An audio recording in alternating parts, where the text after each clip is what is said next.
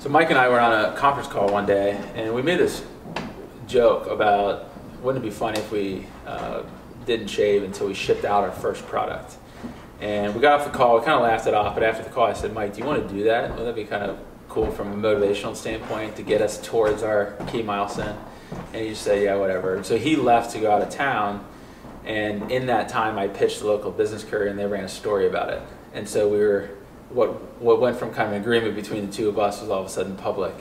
And the problem with that is that it wasn't two or three months. It turned into like 13 or 14 months. And so our beers just grew and grew and grew. And so it's just an everyday reminder that we hadn't reached our goal. Uh, when I looked in the mirror, when I looked at his ugly face, uh, I just knew that we weren't there yet. And it was such an awesome milestone.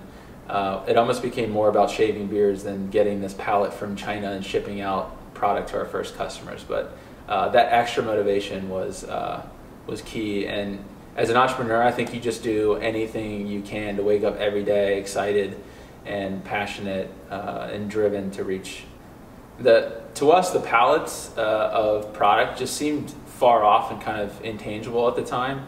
And so the visual reminder right in front of us every single day uh, was one of the things that was necessary for us to, to get to where we needed to get to.